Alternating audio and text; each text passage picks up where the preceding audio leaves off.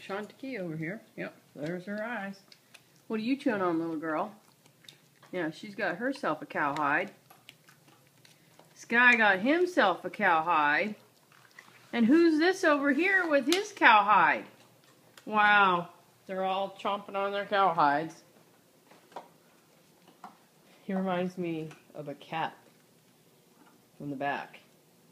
Should probably figure out a name with a K. I don't know, with an S. About a cat.